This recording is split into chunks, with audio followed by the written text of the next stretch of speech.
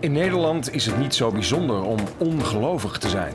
Maar in grote delen van de wereld is dat totaal anders. Ateist nedir? Allahsız, kafir, her türlü e, Adiliği yapar. adiliği yapabilen, yalancı, düzenbaz. So what would happen if you go go back back- to Iran? What will happen then? I will get arrested, and then they're gonna persecute me in uh, a court that is based on Sharia law. So consequently, uh, would be executed. Wow. That's association in Turkish, uh, the association of atheism. If we go public with this, we are gonna get, you, You need know, this. insulted. Yeah, you'll need that.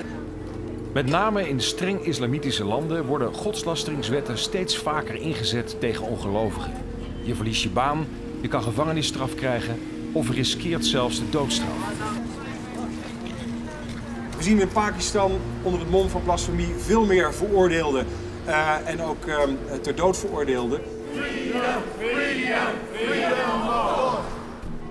For some reason, religion holds this sort of moral trumping card, um, and it seems to be, uh, in these states, immune from critique, which is really very difficult for us and very dangerous. I did a, an interview in Channel 4, very short interview about Sharia courts in the UK. I received lots of death threats after after the interview, and I was myself and my family back in Sudan was um, very badly harassed. the cowardness of, of the left and the liberals. And I'm really frustrated by this. I have to say, frustrated and disappointed. Mr. Dawkins, my name is Boris Van Vanderham, uh, chairman of the Dutch Humanists. Can I ask you something?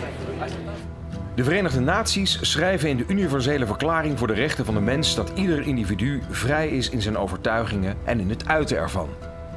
Daarmee zouden ook ongelovigen beschermd moeten zijn. Maar juist hun rechten staan onder druk. Wat kunnen we doen?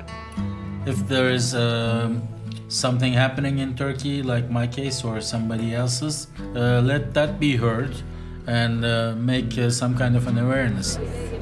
Removing religion as an altar of refuge for hatred, persecution, and violence is of utmost importance. Thank you. Thank you. The next speaker is Rencontre africaine pour la défense des droits de l'homme.